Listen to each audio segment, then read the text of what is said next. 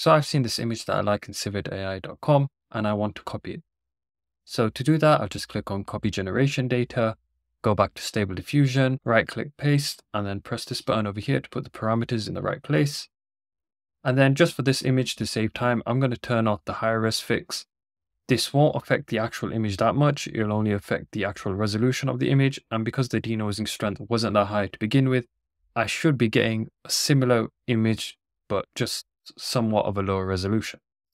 So I'm going to take that one off and then I'm going to click generate. And now comparing the image that I got with the image that is on civitAI.com, you can see there is a massive difference between the two. And the reason there's such a massive difference between what I and the person has produced is that this person is actually using a LoRa file within the actual prompt. Now, the easy way to think of LoRa files is as special add-ons that you can put on top of your model to change the actual art generation style of your actual image. And so what's happening with our generation is that even though we've actually referenced a LoRa file within our prompt, we haven't actually downloaded it onto our PC. And so when Stable Diffusion is trying to generate the image, it is not able to find where the LoRa file is and therefore cannot generate the image correctly.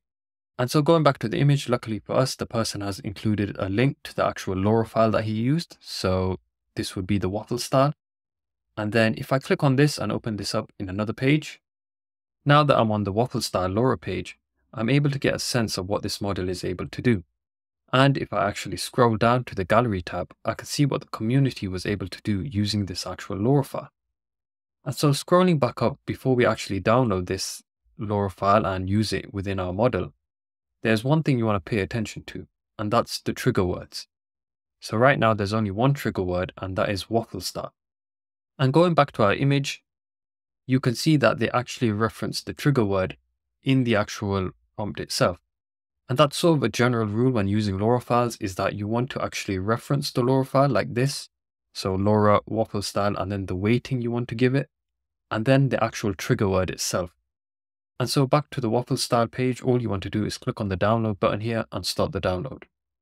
Now, once that's downloaded, you want to go to where your stable diffusion is installed, go to models, LoRa, and then paste in the actual LoRa file here and restart your Stable Diffusion. Now back in Stable Diffusion, I have the prompt all set up again and then I'm going to click generate. And now looking at the image that was generated, it has a much stronger resemblance to the image that is found online than the image that we had before. And so in a nutshell, LoRa files are add-ons that you can use in Stable Diffusion to change the style of your generations.